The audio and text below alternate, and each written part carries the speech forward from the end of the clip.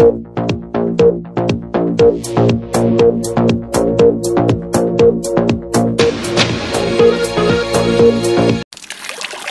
बातमीचे प्रायोजक आहेत गोकुळ दूध. गोकुळ कोल्हापूर जिल्हा सहकारी दूध उत्पादक संघ लिमिटेड कोल्हापूर. गोकुळ दूध आणि दर्जेदार दुग्ध उत्पादने. चव आहे कोल्हापुरी गोकुळ लई भारी. तिचा जागरच्या वर्धापनास हार्दिक हार्दिक शुभेच्छा. शुभेच्छू कृष्णा दूध राजाराम बापू पाटील सहकारी दूध संघ मर्यादित इस्लामपूर जिल्हा सांगली. नमस्कार मी शर्वरी. अत्यंत महत्त्वाची अशी बातमी येते. विधानसभेचे पडगम या बातमीपत्रात आपलं स्वागत.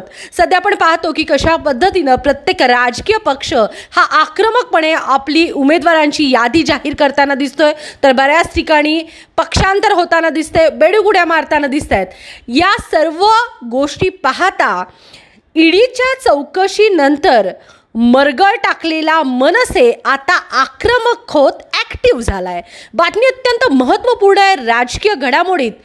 राजकारणाच्या पटलावर अनेक समीकरणं बदलणार आहेत. अशी बातमी आहे राज ठाकरेंचा मनसे विधानसभा विधानसभेच्या आखाड्यात उतरल्याची बातमी समजते मनसे लढणार निवडणूक ऐंशी ते नव्वद जागांवर राज ठाकरेंचा मनसे निवडणुका लढवणार आहे अशी बातमी समजते सूत्रांकडून खात्रीलायक बातमी समजते मनसेच्या नेत्यांची आणि कार्यकर्त्यांची कृष्णकुंजवरती महत्त्वपूर्ण बैठक या ठिकाणी झालेली आहे.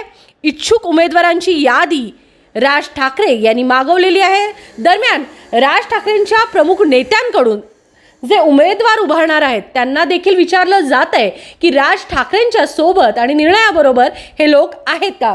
एकूणच ईडी चौकशी नंतर शांत असलेले राज ठाकरे यांचा हा निर्णय अतिशय संभ्रमावस्थेत टाकणार आहे. एकीकडे ईडी संदर्भात जनतेला असं वाटत होतं की राज ठाकरे आणि भाजपात काहीतरी कॉम्प्रोमाइज झालंय. तर दुसरीकडे बोललं जात होतं की नाही राज ठाकरेंना ईडी चौकशी केल्याचा भयंकर राग आलेला आहे आणि ते बी जे पीला चोख उत्तर देणार आहे.